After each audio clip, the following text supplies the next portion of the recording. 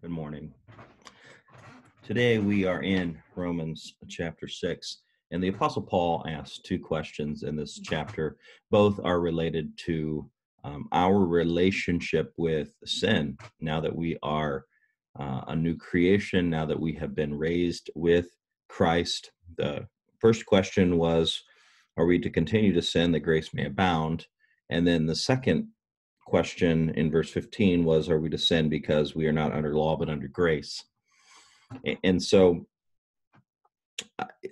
so both of these have everything to do with both sin and grace. And so, if God's a God of grace, then um, why don't we sin? If if our sin makes His grace look better, then why not sin? He addresses that, and then um, if we're not under law, we're under grace, uh, God doesn't hold us accountable for our sin, then why don't we sin?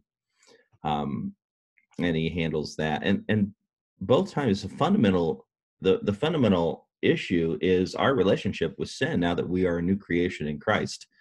Um, so those questions um, in, in some way demonstrate that you don't get it. Uh, but at the same time, what Paul is arguing here is that you are a new creation in Christ, that before you knew Christ, sin was your master. Sin reigned over your life. You were a person who followed um, sin's desires.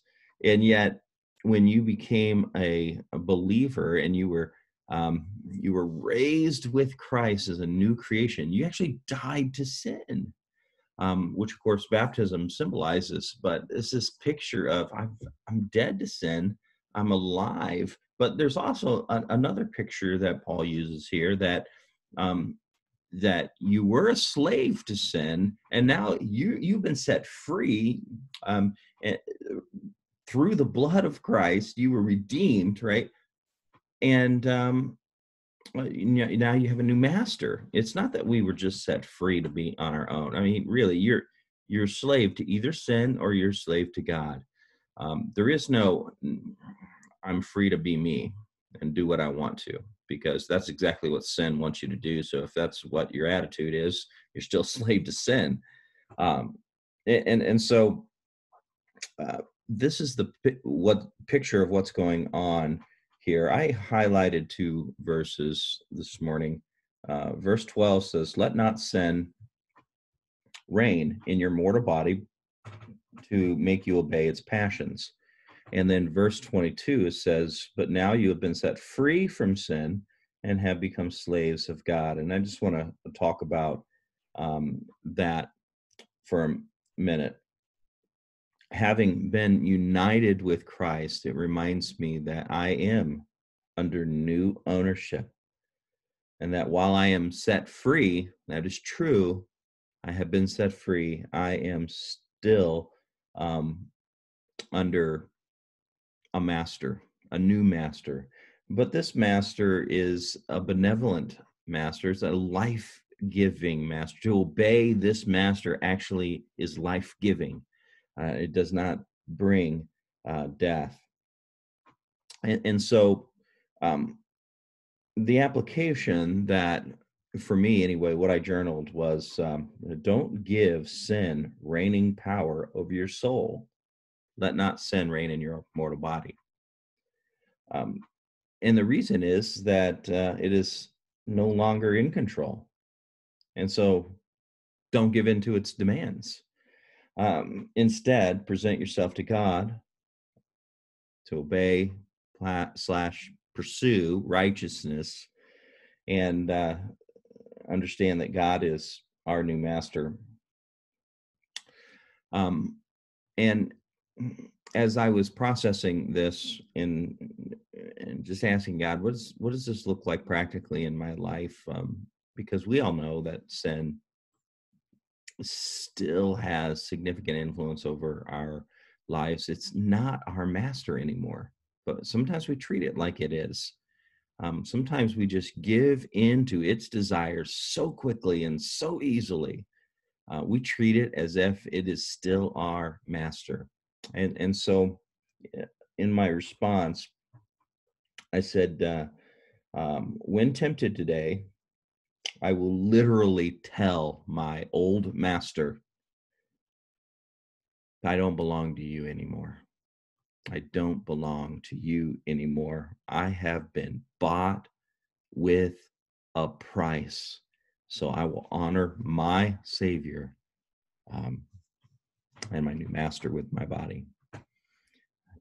You are no longer my master. And I would encourage you to, as you as you process Romans chapter six and your relationship to sin, to understand that that sin no longer um, is your master. You don't have to give into it. Um, don't treat it. Don't give it reigning power in your life. Um, you're under new ownership, and praise God for that. Let's thank God for that, Father. You sent your son Jesus to come and die on a cross to redeem us. He bought us back to you. Father, we were under the slave ownership of sin in our lives, and it reigned over our uh, bodies. But that is no longer true because of the death of Jesus. Father, we are now believers in the Lord Jesus, and we have been transformed. We have been brought from death to life. We, uh, Father, have, have been raised with Christ. And so, Father, we do have a new owner, and you are our slave master. And Father, you call us to pursue your righteousness. You call us to be uh, obedient to you, um, not for some kind of exercise exercising control, but actually you give us life through obedience and a pursuit of righteousness.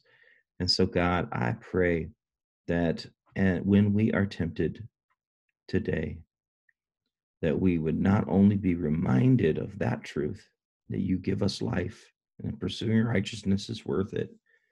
But Father, you would help us to look our old master right in the eye and um, let him know that he no longer is our master. He no longer owns us. He no longer has reigning power over our lives. Thanks be to you through Jesus Christ our Lord. Mm-hmm. God, thank you. In Jesus' name, amen. Blessings.